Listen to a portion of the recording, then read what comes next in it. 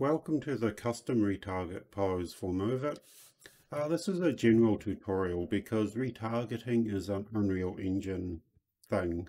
Doesn't really come with MoveIt in any way or form, but it's a major component to MoveIt. So we're going to cover how to fix any retargeting issues with any animation. Nothing to do with MoveIt, but of course MoveIt is the example in this case. So hide the engine content. Okay. So we've got our character set up. And this guy, his retarget pose is pretty good. But have a look at it. Man, that's weird. It took this pose to get good results in retargeting from the Unreal Engine mannequin. Now the Unreal Engine mannequin is odd. He's meant to be physically accurate, probably he is, but he doesn't produce good results a lot of the time, especially in the neck area.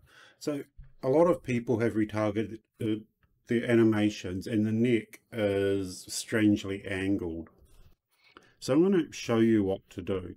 First of all, even before you initially retarget MoveIt, if it's a new character, it's a good idea to take the run forward animation. The run forward animation is great at showing you any issues. So I'm just going to retarget that and drop them in. Now I'm going to come back to the MoveIt run forward, drop them in. So you can see his head is angled slightly down, his head's angled slightly down. And yeah, the mannequin's got a weird neck. I'm not surprised it causes issues, in a way. I mean, it looks fine on the mannequin. So I hit Alt-S for simulate. So take a look at the toon character. I think he lines up pretty well, but again, the neck, it's not fantastic. Like, it could be more forward, and then the head be more back for it to uh, match properly. Like, it's a little stiff, a little upright.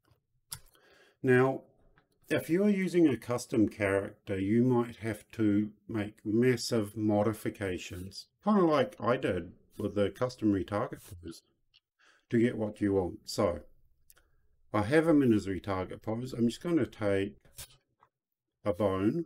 We want the neck. Where is that neck gone? Right here. So I'm going to rotate it forward a couple. Let's really exaggerate this. And we'll offset the head just a bit. So it's changed quite a lot. Now what we're going to do, create asset, create pose asset, current pose, and I'm just going to chuck it here. Okay, so I've got this pose zero, and it pushes them into the new pose we made. So we come back to the skeleton. So let's go hide pose, view pose, and it's back to the normal one because it did not save those changes and it shouldn't. So this is a new pose. I go import, and now that's his pose. Okay, so hit save, and we're going to retarget the run forward again, and have a look at what difference it made. So let's chuck him in behind here.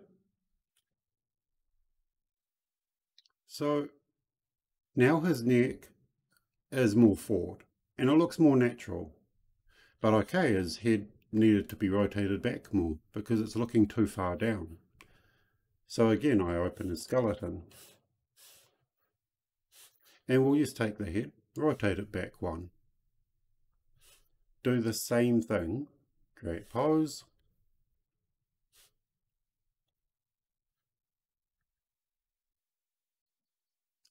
Uh, we'll hit no for that and it will give us a new one. So you go modify pose.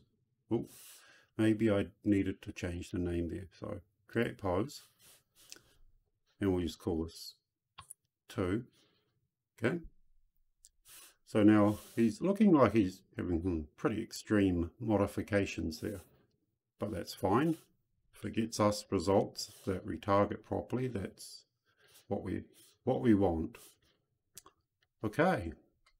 So now this version here, this is what we started with and we had a neck issue.